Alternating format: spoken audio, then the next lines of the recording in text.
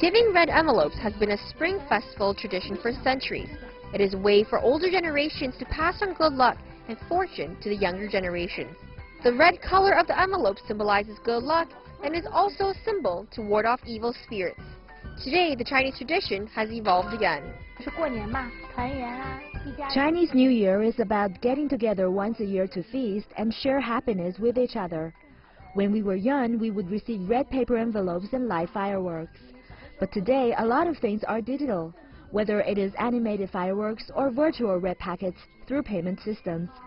We often now sit around as a family and compete who's faster at collecting red envelopes sent into our extended family chat that has almost 20 people in it.